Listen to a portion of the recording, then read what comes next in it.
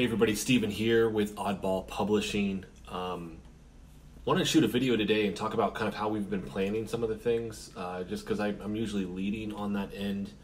And uh, we're now going on, it's just over a year, because we released the Undyed Nightmare about a year ago. We just did the release of um, the remake of the first book, Color Me Zombied, and working on getting that new uh, witch book out in the next month or two. Still fine tuning all of that stuff. In the process of all of this, we're going to local bookstores and getting our books in there. We've hit up larger chains, and uh, it, it's just been a struggle. I mean, they just don't typically um, work with local authors as um, well. Barnes and Noble gave us the runaround a ton. Um, and we're in what's called the Ingram system, which is um, essentially the distribution channel that they use to buy their books. So they usually throw you that line, like, well, you have to be in the system. And then if I say, well, I'm already in the system, you can order these books now. Um, they just don't want to do it. so you can only kind of push on that so hard. And you talk to multiple people in different stores and all of that, and it becomes an issue um, where they're just giving you the runaround, kind of a waste of your time. So uh, the local bookstores here, though, are phenomenal at giving support. And we're in Tulsa, Oklahoma. I am. Me and the artist Zach Raw are here. Um, my writing partner's in Denver. Uh, and uh, with that, uh, dropped some more books off at a bookstore here called the Frugal Bookworm. And um, the owner was talking about some of the conventions coming up and um, that we should do them. And it's actually been something that we've been talking about a lot and uh, my artist initially brought it up to go to these conventions because he does with his art. And we've kind of held back on that.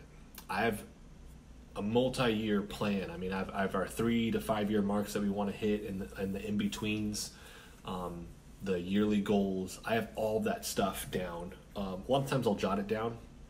I have a whiteboard upstairs that i put all this information on. Um, i catalog it in my head. Uh, there's adjustments that happen all the time those little things with that but one of the reasons why we actually haven't gone yet, because that's one of the questions like, man, you guys should go. Why aren't you going? Why aren't you going to the conventions?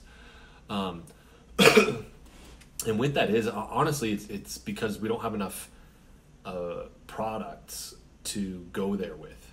And I've said this multiple times um, to Zach and to Isaac. It, it really is hard to go to a convention, put a booth up, and you have one book. Just not quite enough. And I know people do it um, we've decided just just uh, go a different route with this. We're kind of playing it a little bit different, playing a little bit more of a long game. Next year, we'll be pushing towards uh, into our second year of doing all of this stuff as a group, as a team. Um, I've been doing a little bit longer because I, I, did the first book all by myself, but then kind of just shelved it. But looking at that two mark year uh, as a team, we'll have um, three. My hope is for four four, bordering on five books out at that point. I can set up a booth and have that stuff there. We'll have three with the zombie books. We'll have this new book series with the the all female main characters, the witch book series. um, working on new um, IPs that are going to be coming out as well. Like, what are the new books that we want to do? And we have that stuff cataloged as well. I have all these ideas um, written down. We see which sticks, what doesn't. We talk about this as a team, where we want to spend our attention but looking with that, that I can represent and I can say that, hey, we're bringing value with this stuff. Harder if, if we go there and somebody comes up and they're like, well, what's your book? And it's like, well, it's a zombie book. And they're like, well, I don't like zombies. And I was like, I don't know what to tell you. Like, that's all we have, right? Going from that to, hey, we got the zombies and the witch books. Hey, we have the zombie, the witch book, and this new one um, that we have coming out, right? And we're looking at all those things that we want to do with that right now. easier, in my opinion, to um, not only just sell but connect with people. Really, ultimately, that's what we're trying to do. We're trying to connect with people. Do your kids like these things, right? Since these are children's books. So, looking at that, really trying to bring value. In the meantime, one of the things that um, I'm going to be pushing into now, six months to nine months leading into this, where we do want to get those booths, is going to these conventions now and then just going as um, a customer, observing how everything is getting done.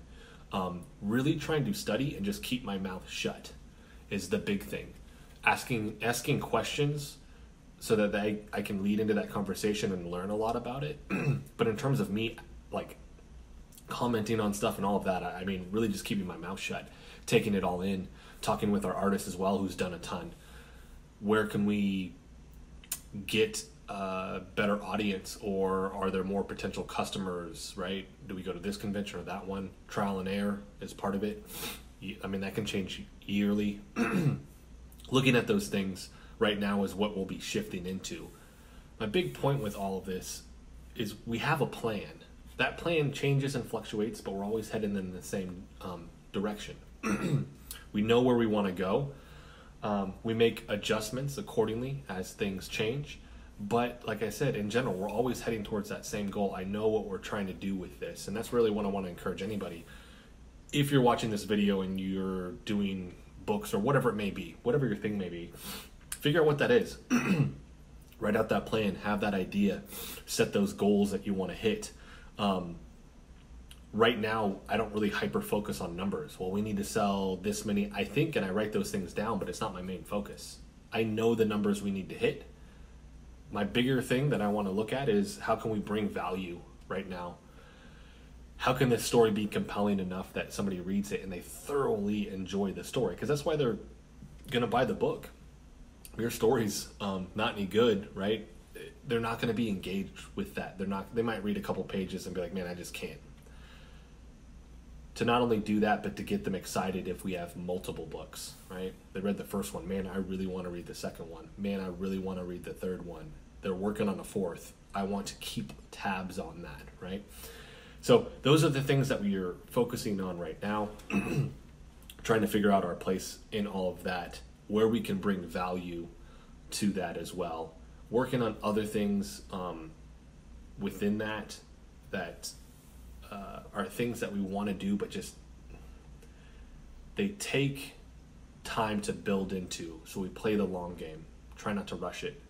Getting our books into schools, donating our books where um, they go to children that just can't afford to buy the books foster care homes, stuff like that.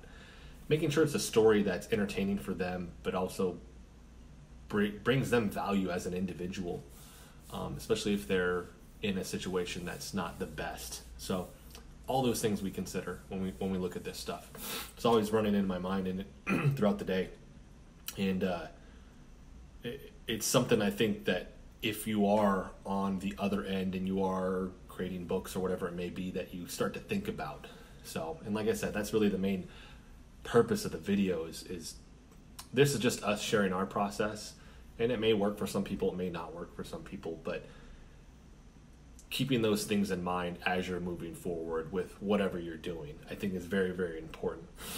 The overall theme too is like, how can I bring value? How can I bring value to anybody that's out there? Whether that's through sharing our story and the things that we're struggling with and that we're doing really well and where we're having success and all those other things um, but also ultimately with the product, whatever it may be. And for us, it's kids' books, and uh, it's something that we just thoroughly enjoy doing. It's so fun to do this, especially since we have our, our own kids as well, showcasing those things. And my son's like, "When's the when's the witch book to be done?" Like, I, I really want to read it because we kind of keep it hidden. We show them a little bit here and there, um, just like we do with everybody else on social media. But we want to keep some of it a little bit closer to the chest. That way, it's not like with the movie trailers where you're like, dude, I I pretty much know the story.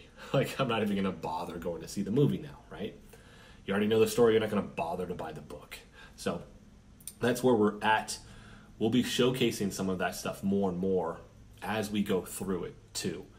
And uh, one of the bigger struggles is I'm a personal trainer. I mean, all of us have our own other jobs. Um, our artist is a full time artist, so that's what he does for a living. Um, but I'm a personal trainer. Um, that's how I make my current income. I create content for that as well. I do all the social media stuff for that. I have the YouTube channel. I do all those other things with that, and that's my main source of income. So splitting my time with that, dictating how much time do I have for this, being realistic. But when it's time to do what it is with the book, I'm gonna sit down and I'm gonna try and squeeze every ounce that I can out of that time that I have. I can only spend 30 minutes, an hour, two hours a day on this stuff, I got to squeeze as much out of that to try and extrapolate that so that it really is more like four hours, six hours for somebody that's not going to work as hard. So that is something else that I think about constantly. Um, that we try to work on as well. Sometimes I hit those lulls where it's like, man, I got to step back for a second because um, I don't want to be, be at uh, odds with what we're doing. I love that we get to do this stuff. I never want to feel like it's a burden or that um, I feel stressed that we're doing it to the point where I'm almost resentful that we're doing this because then that just really defeats the purpose. This is something fun for us to do. So that's just my thoughts with all of this stuff, showcasing kind of our plan. If you guys want to follow along with all this too, hit the subscribe button. It would mean the world to us. Follow us on Instagram and Facebook. I'll put the links in the description for that so you can do that as well. If you have questions, comments, one guy hit us up on a, I have a gaming YouTube channel as well, but I've put some videos out with um, the uh, CreateSpace process, which is who we publish with. And I'll do some more on this channel as well, but he was struggling. Me and him went back and forth for a little over a month where I was actually looking at what because he's like they're not communicating with me and I don't quite know what what's going on. But because I went through that process for three months, where we had our issues, um, I helped him as much as I could and showcased him where he was off, what was he was where he was running into trouble um, as well, and that came from him just making a com- a comment on the video. And uh, if I can help, I will for sure. Whether that's making videos on here or shooting you an email or making a call, whatever it is. Um, like I said, let me know in the comment section. Like I said, we work with CreateSpace right now. Um, and they're actually shifting their model. So all of their stuff's going from CreateSpace.com over or over to uh, Kindle Publishing Direct. They're both Amazon-owned businesses and services. Just Amazon is bringing it underneath kind of their roof at this point and migrating all of that so that it's just underneath Kindle Publishing. And I'm assuming that's just because it makes it so much easier instead of having the two businesses running kind of parallel to each other. It's all just one thing. But that is it for this video. Thank you guys so much for watching. Guys and girls, so much for watching. Um, check back soon for more videos. And like I said, follow us on uh, Instagram if you don't mind or Facebook. And you can keep up with a lot of that. And a lot of the stuff that I put on there is the artwork, the amazing artwork that our artist Zach Raw does here.